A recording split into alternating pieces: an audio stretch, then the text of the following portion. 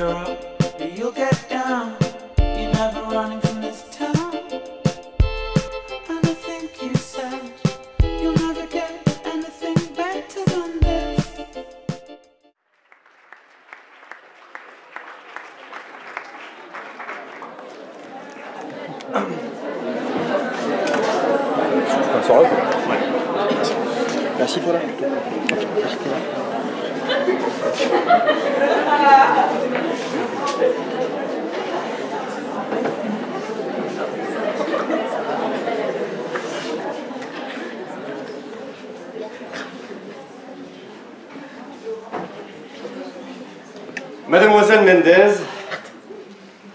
il faut bien avouer que, comme un certain nombre de personnes dans cette faculté, vous avez déjà vu en action mon... Vous prenant à témoin, je pense pouvoir affirmer sans trop de fausse modestie que je possède un organe plutôt... Cela fait d'ailleurs dix mois maintenant que je n'ai pas... Alors puisque, connaissant mon goût pour la chose, vous avez décidé de m'en donner l'occasion aujourd'hui. De surcroît devant un public encore jeune, qui mérite de fait quelques instructions à la matière, je... j'ai envie de vous en...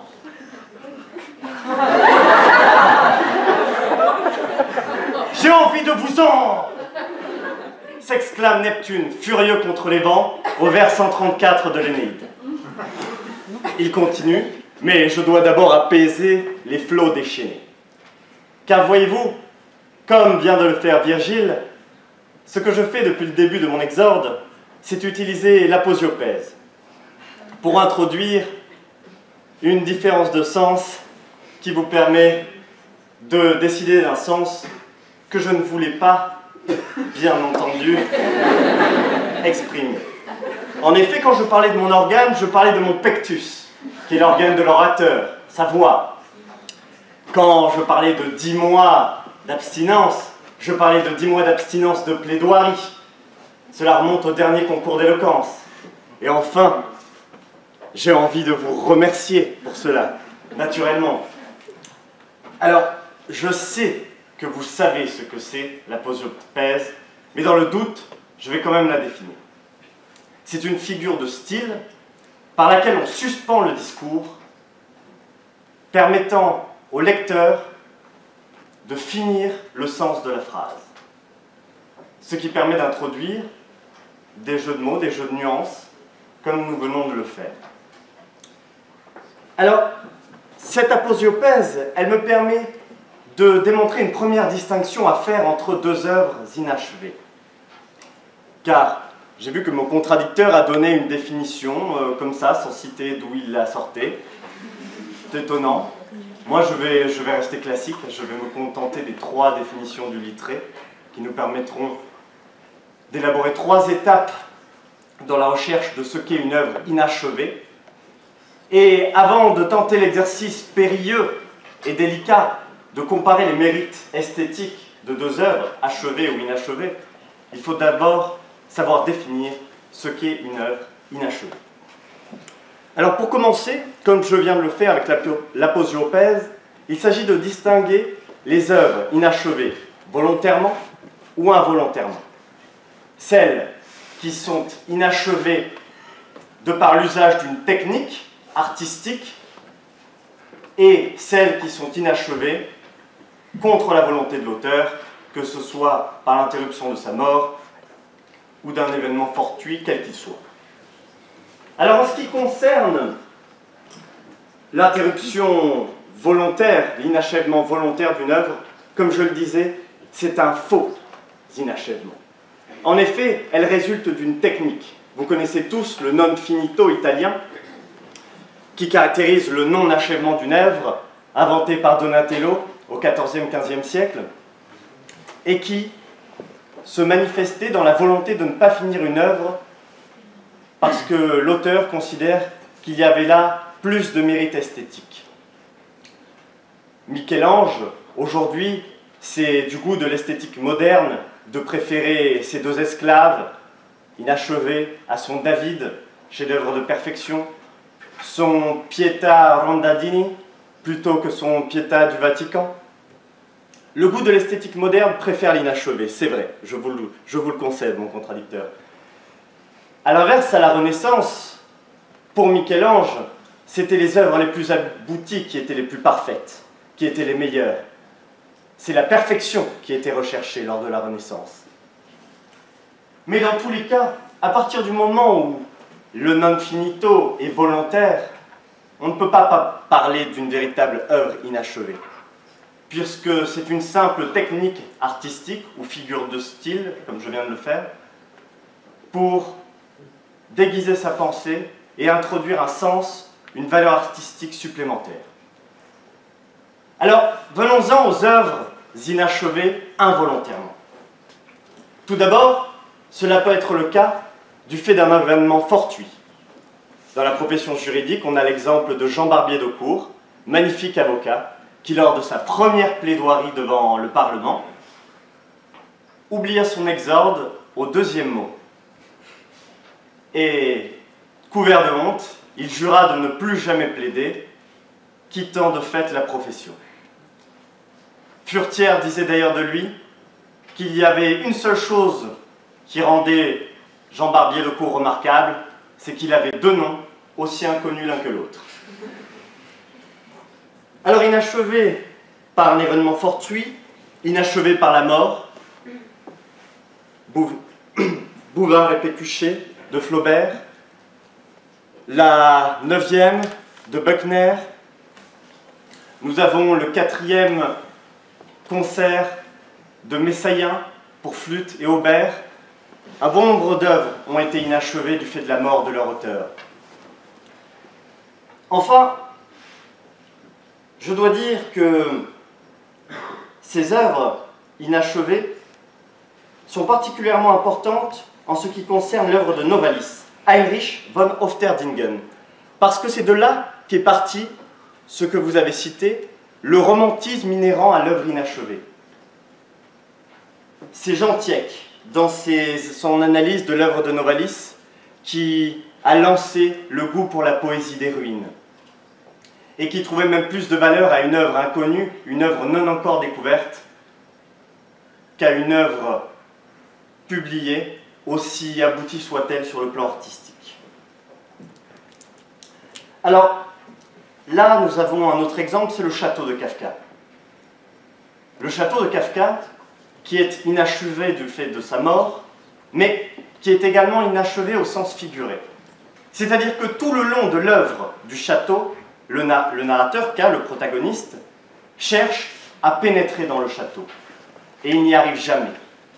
Donc un certain nombre de critiques ont considéré que l'œuvre de Kafka n'aurait jamais pu être mieux que ce qu'elle est aujourd'hui, c'est-à-dire inachevée au sens figuré et au sens propre.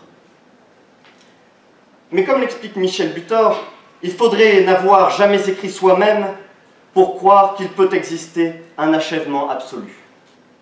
C'est le propre des œuvres d'art de n'être jamais totalement abouti. Et c'est là qu'intervient la deuxième définition du littré. Dans la notion d'achèvement, il y a la notion de perfection et d'accomplissement.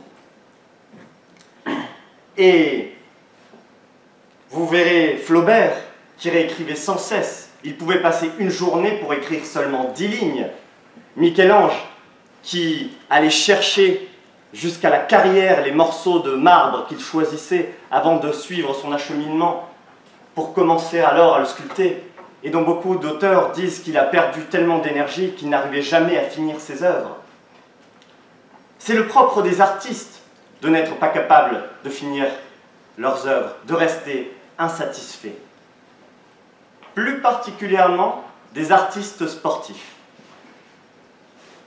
Spécifiquement les amoureux du ballon rond. Et je récupérais mon contradicteur, tout particulièrement Franck Ribéry. En effet, celui-ci a qualifié l'équipe de France. Pourtant, il n'a jamais achevé une phrase en français correct. Enfin, on ne peut pas demander à un sportif de haut niveau d'être en même temps un intellectuel. Personne ne peut cumuler autant de défauts, comme l'a montré très bien Lilian Thuram. Alors là, vous verrez qu'il y a des auteurs qui ont tellement souffert de leur incapacité à achever leur œuvre qu'ils ont décidé d'appliquer le mot au sens propre. Achever vient de ad caput, à la tête, jusqu'à la tête. André Chenier est un bon exemple. Poète majeur du XVIIIe, mais inconnu en son temps, qui à 31 ans, le 7 Thermidor en 3, finira décapité jusqu'à la tête lors de la chute de Robespierre. Un autre exemple, Zidane, qui a fini sa carrière jusqu'à la tête. Il avait presque commencé sur deux coups de génie en 98 et il a fini en plein dans le torse de Materazzi. Et si vous ne considérez pas ça comme une œuvre, je vous rappellerai que Trône au Qatar et avant cela Place Georges Pompidou, l'œuvre d'Abel Abdenessed Semed, La vengeance de Zidane, immense statue de bronze représentant l'acte du fameux footballeur français. Alors là, on comprend donc que l'inachèvement de l'œuvre involontaire est toujours existante. Qu'elle soit consciente ou non, affirmée ou non, plus ou moins développée, l'œuvre est toujours inachevée. C'est pourquoi cette définition ne peut pas être considérée pour discuter des mérites esthétiques d'une œuvre achevée par rapport à une œuvre inachevée. Alors, nous allons nous intéresser à la troisième définition du lettré, qui nous dit que l'œuvre achevée, que le fait d'achever, c'est d'arriver à son terme, d'être arrivé à son terme, de mener à son terme. Et là, vous faites tout de suite le parallèle avec une grossesse. Il peut y avoir des grossesses prématurées, mais l'œuvre est tout de même toujours achevée, aboutie. Et c'est bien la naissance de l'œuvre, c'est-à-dire sa publication, sa mise au monde, sa réception par le monde public, par le spectateur, qui en fait une œuvre inachevée. Et par là même, toute œuvre non terminée, consciemment ou non, volontairement ou non, est achevée en ce qu'elle est publiée ou qu'elle est amenée à la connaissance du public. Pour ce qui est du Kafka, le château, c'est le meilleur exemple. Dans son commentaire, Neumann explique le dilemme devant lequel s'est retrouvé Max Brod, l'exécuteur testamentaire de Kafka.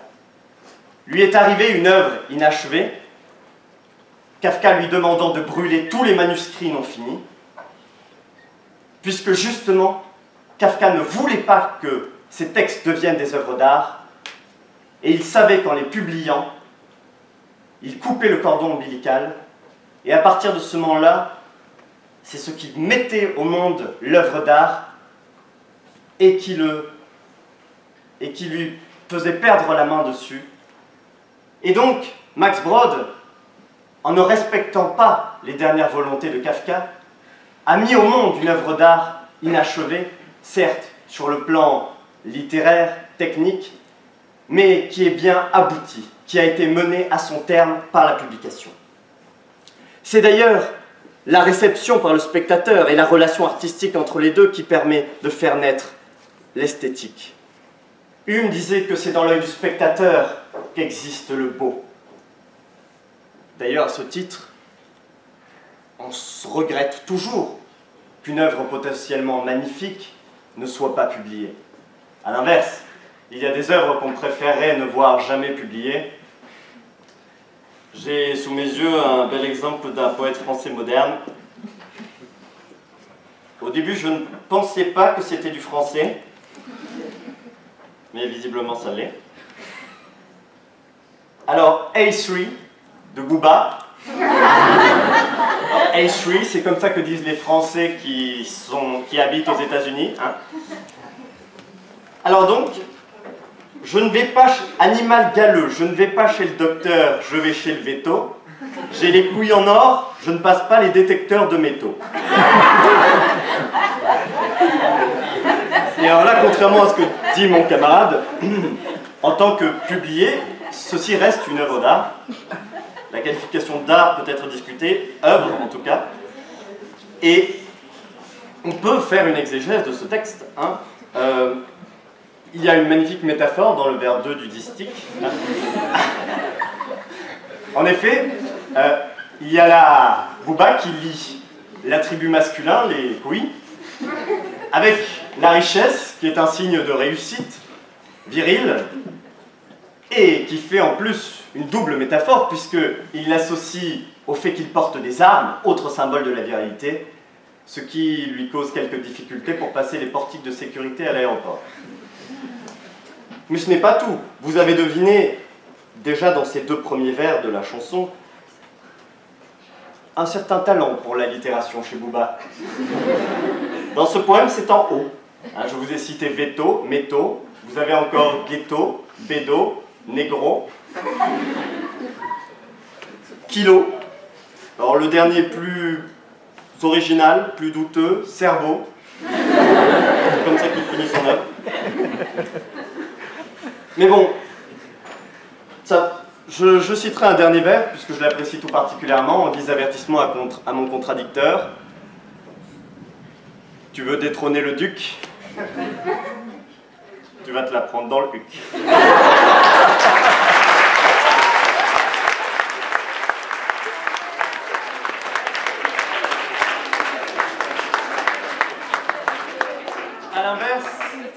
À l'inverse, une œuvre non publiée n'est jamais une œuvre d'art, car elle n'est jamais achevée.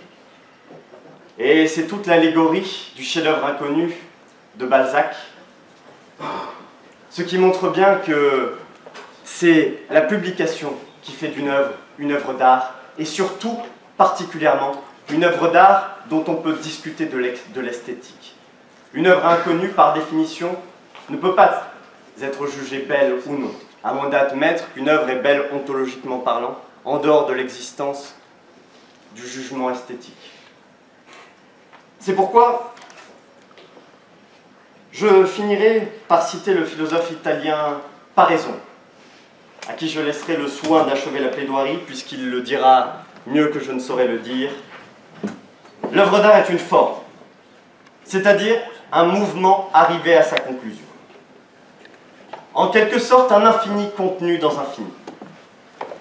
Sa totalité résulte de sa conclusion et doit donc être considérée non pas comme la fermeture d'une réalité statique et immobile, mais comme l'ouverture d'un infini rassemblé en une forme.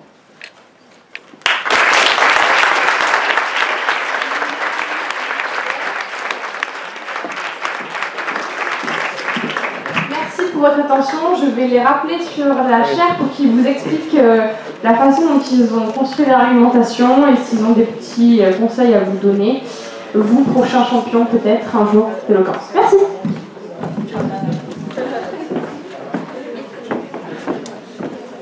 Vas-y, le duc. Euh. Ouais, je suis d'accord. On vient d'épuiser euh, ce qui pouvait rester de, notre éloquence. Non, est-ce que vous avez des questions déjà pour commencer? Oui? C'est euh, un dictionnaire de la fin du 19e siècle écrit par Émile Littré, comme son nom l'indique, et qui est considéré comme euh, littérairement, littérairement parlant le dictionnaire le plus correct, bien qu'on on puisse lui faire jouer le dictionnaire de l'Académie française également. Donc voilà, c'est un dictionnaire. D'autres questions? Non? Bah, Pour la partie, euh, on va dire, euh, petit secret, euh, si jamais vous êtes amené à faire justement, à vous prendre à ce genre d'exercice, il n'y a pas vraiment de, règles en fait. tout dépend de, votre personnalité à vous. Comment, qu'est-ce que vous voulez faire du sujet Comment, si vous voulez, que le, le, sujet colle à votre personnalité, vers où vous voulez l'emmener, si vous voulez plus faire de l'humour, si vous voulez plus être dans la démonstration euh, précise. Euh, voilà, nous, euh, je pense qu'on aime bien jongler avec les mêmes, avec les mêmes ingrédients. Mais voilà, il faut, d'abord que ça vous corresponde à vous, parce que si vous essayez de, de le traiter d'une manière qui, pas, qui ne vous reflète pas, forcément, ça va être plus difficile, ça va être plus laborieux. Voilà, qu'est-ce que tu Charpentier disait Attention à celui qui veut faire le sublime avec le physique d'un valet. C'est clairement un bon résumé de cette, cette phrase. Ça permet de, se souvenir qu'effectivement, il faut savoir convenir. C'est même le, premier conseil donné par les orateurs antiques euh, pour, la, pour le discours, c'est-à-dire convenir à sa personne, à son physique, à sa voix. Euh, on ne, crie pas, on ne déclame pas si on a une toute petite voix, mais également convenir à son auditeur. On ne fait pas le même, euh, le même genre d'humour, le même genre de démonstration, on n'utilise pas les mêmes, termes techniques selon le public qu'il y a en face. Convenir également à la cause que l'on défend, entre une plaidoirie judiciaire, euh, un discours à l'Assemblée ou euh, un sketch d'humoriste, on n'utilise pas les mêmes techniques parce qu'il faut convenir au sujet qu'on est là pour déclamer et à la cause qu'on qu'on est là pour défendre. Là, je viens de faire le Ribéry, la cause qu'on est là pour défendre. C'est un brillant maître de l'anacolute ribérien, c'est-à-dire de, de la rupture de, de la syntaxe de la phrase. Mademoiselle Est-ce que ça vous a pris beaucoup de temps à préparer ou est-ce que c'est quelque chose qui se fait assez facilement pour vous? Bon, alors là, c'est le moment où on va faire les faux modestes.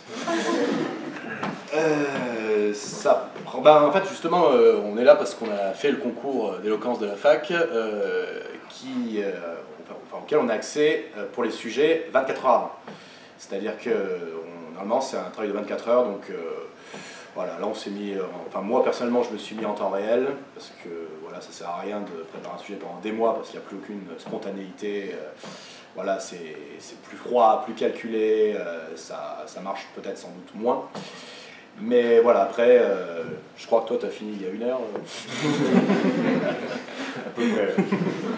non, il y, a plusieurs, il y a plusieurs méthodes, honnêtement. Il y a, il y a des gens qui préfèrent l'écrire totalement et l'apprendre, euh, et apprendre le texte. Il y en a qui préfèrent... euh, euh, c'est vrai que Fred, ça, ça lui arrive de, d'écrire parfaitement. Je me souviens d'un, texte qu'il avait écrit sur, sur le sujet « Faut-il libérer le complément d'objet direct ?»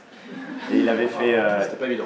il avait fait euh, toute une. euh, presque une métaphore filée tout le long de sa plaidoirie, des jeux de mots en permanence. Sur le, sur- il, parlait comme maître Yoda de temps en temps pour montrer qu'il fallait se rebeller contre la place du complément d'objet direct. Euh, il y en a d'autres qui préfèrent euh, écrire les grandes lignes et quelques arguments majeurs sur leur, euh, sur leur feuille et ensuite improviser des- dessus. Moi, c'est ce que je préfère. Moi, je suis plus, euh, je suis plus dans la préparation, plus dans l'écrit, c'est vrai.